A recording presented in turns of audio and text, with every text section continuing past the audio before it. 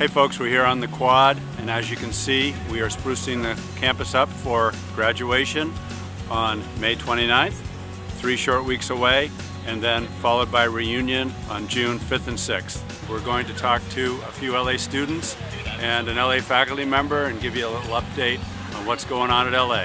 Hi, we're just catching up with some seniors uh, here on the quad. Uh, we've got Maggie Madigan and Jillian Clymer.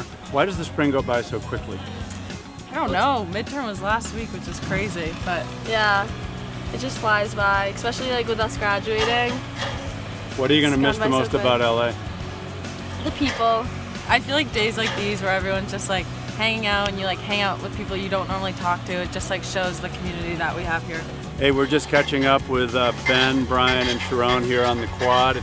And Sharon, your first year at LA, but it seems like you've been here for many years. Uh, what are you looking forward to for next year? Oh, definitely looking for a better junior year than I had sophomore year. It's definitely a transform, uh, kind of a transformation year for me coming from public school. But I love it here. It's uh, the campus is gorgeous. I love the teachers. The teacher-student relationships is great. I'm here with longtime faculty member and member of the class of 65, David Smith. Classes are going great.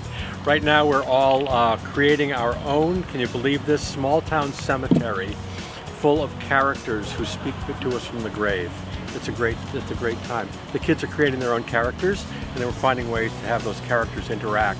I'm here with Gabby DiVincenzo, a senior. Tell us a little bit about the theater. You've, you've obviously excelled there. Um, well, I, I had a phenomenal experience uh, with Joel Sugarman and everyone who's been involved with the theater these past four years, and it's um, helped me shape my career path. And I'm going to college for theater. Where are you I love going? it here.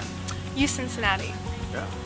And what, what program will you uh, get involved Uh, in their College Conservatory of Music. They have a drama conservatory there. there? Fantastic. Well, good luck and thanks for talking with us. We'll see you at graduation.